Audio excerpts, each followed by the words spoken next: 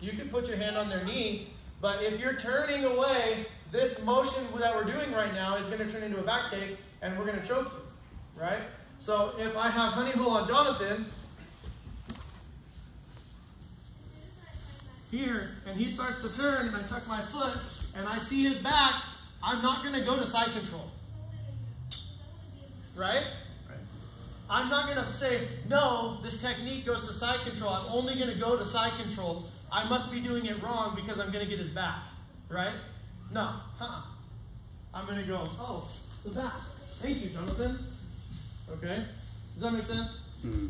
But most likely, Jonathan realizes the one key uh, understanding, one key principle in jujitsu is that if I can see his back, guess what I can take?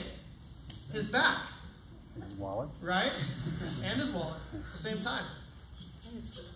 Yeah. Right? Okay?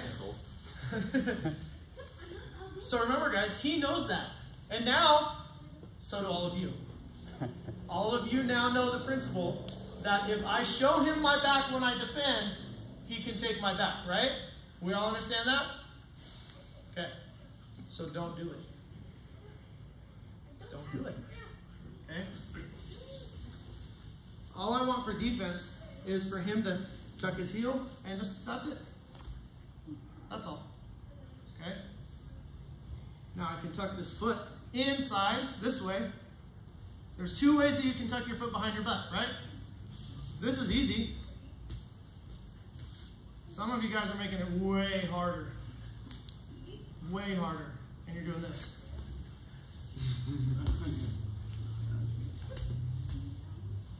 Okay?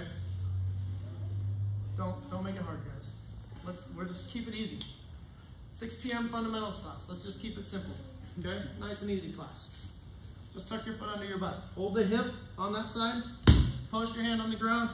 Tuck your foot under, and then come up. Right? So look, Jonathan remembers the principle. He's not showing me his back, so I can't take it. My hand just stays low on his back as I slide through and land in side control. And because my hand stayed low, when I slid up, I caught underneath of his elbow, which gives me the underhook across his body, which is going to help me maintain side control. Does that make sense, guys? Let's spend just a couple more minutes real quick. Okay, just a couple more minutes. One, two, three.